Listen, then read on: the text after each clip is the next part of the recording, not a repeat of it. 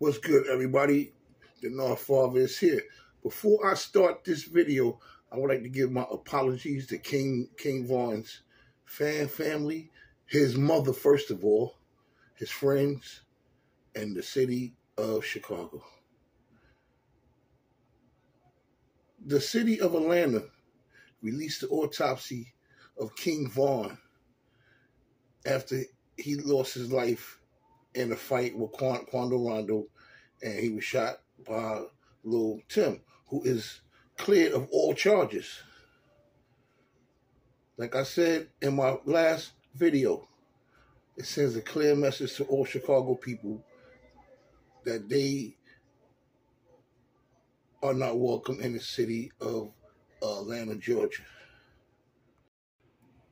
King Von's death also sends a clear message that he allegedly terrorized the streets of Chicago and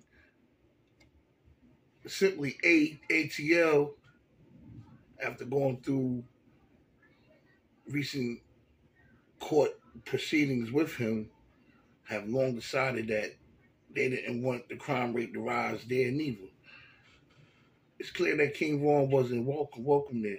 But let's get back to the story. King Von photo was allegedly released by a man named Freddie Curry, if I'm not mistaken. And I'm gonna look more in, more into that also. And uh it was a huge cover cover up.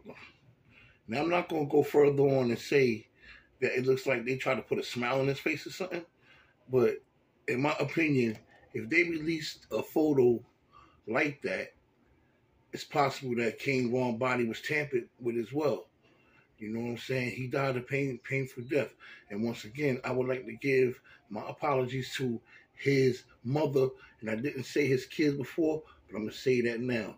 And his kids as well. You know what I'm saying? Because they have to grow up and watch this stuff. You know what I'm saying? And uh, his friends and the city of Shot, Town, I definitely give my apologies and my respects.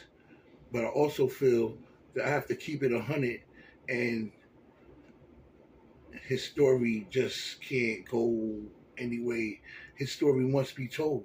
You know what I'm saying? His story must be told, and I feel this photo being leaked was was wrong. This is this is Nard. I'm out. I'll be back with more of this here. You know what I'm saying? Rest in peace, King King Von. All right, everybody. Peace.